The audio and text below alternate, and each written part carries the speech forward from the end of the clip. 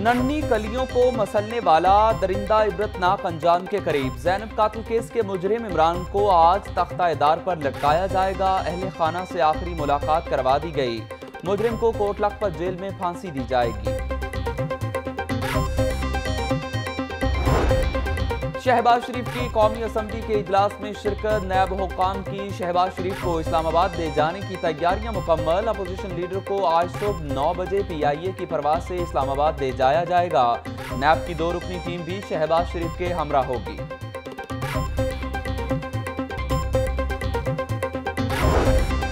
Ashiana housing scandal Shahbaz Sharif مزید چودہ روزہ جسمانی ریمانڈ پر نیب کے حوالے۔ تیس اکتوبر کو دوبارہ پیش کرنے کا حکم۔ نیب رپورٹ میں شہباز شریف پر کرپشن کا الزام، ٹھیکہ بولی میں کامیاب ہونے والی لطیف اینڈ سنس کمپنی کو دیا گیا۔ بولی میں ناکام رہنے والی کسی کمپنی نے مقررہ وقت میں شکایت نہیں کی۔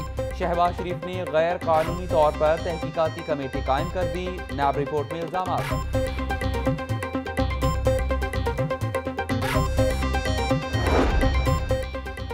پیراگون ہاؤسنگ اسکینڈل کی تحقیقات، خواجہ سعد رفیق اور سلمان رفیق نیب میں پیش۔ ایک گھنٹہ تک نیب دفتر میں موجود رہے۔ نیب کی تحقیقاتی ٹیم کو سوالوں کے جواب دے کر واپس روانہ ہوئے۔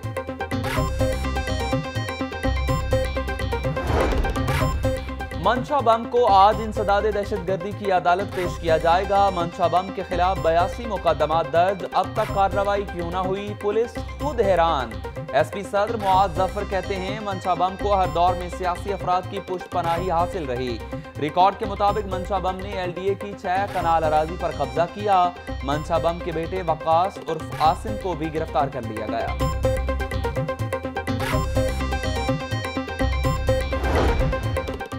پنجاب کا دو ہزار چھبیس ارب روپے کا بجٹ پیش۔ بجٹ اجلاس کے دوران اپوزیشن کی ہنگامہ آرائی۔ بجٹ کی کاپیاں پھاڑ دیں۔ اپوزیشن ارکان کا سپیکر کے ڈائس کا گھیراؤ۔ حکومتی ارکان وزیر خزانہ کے سامنے دیوار بنا کر کھڑے ہو گئے۔ حکومتی اور لیگی اراکین کے مابین ہاتھا پائی۔ اپوزیشن کا اپنی نشستوں پر کھڑے ہو کر احتجاج۔ سیڑھیوں پر دھرنا، ڈونکی راجہ سرکار نہیں چلے گی۔ شرم کرو، شہباز شریف کو رہا کرو کنارے۔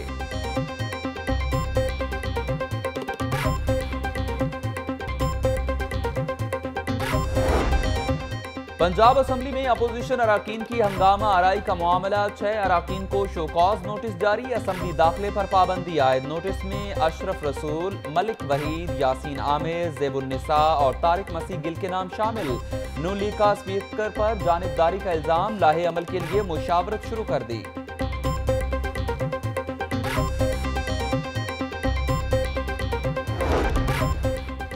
سابق حکومت نے قرض لینے کے علاوہ کوئی آپشن نہیں چھوڑا۔ اورنج لائن منصوبے کی لاگت بڑھ کر دو سو پچاس ارب روپے تک پہنچ گئی۔ اورنج ٹرین منصوبہ عوام کے گلے کا کانٹا بن گیا۔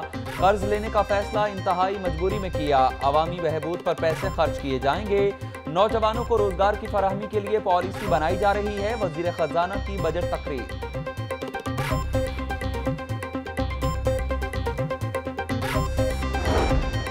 نیب کے پیچھے نیازی ہے، تبدیلی کا نعرہ لگانے والے خود بے نقاب ہو گئے۔ عوام نے ضمنی انتخاب میں عمران خان کے یوٹن کا حساب لیا۔ حمزہ شہباز کے کپتان پر وار۔ بولے، احتساب بلی گالا سے شروع ہونا چاہیے۔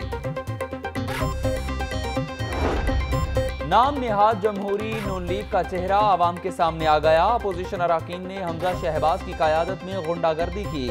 حمزہ شہباز اپنا رویہ درست کرنے کی کوشش کریں، سیکرٹری اسمبلی کے دفتر پر حملے کی مذمت کرتے ہیں۔ صوبائی وزیر اطلاعات فیاض الحسن چوہان کی میڈیا سے گفتگو۔ سوئٹزرلینڈ کے سفارتی وفد کا پنجاب بورڈ آف انویسٹمنٹ کا دورہ۔ سی ای او بورڈ سے ملاقات۔ باہمی دلچسپی کے امور پر تبادلہ خیال۔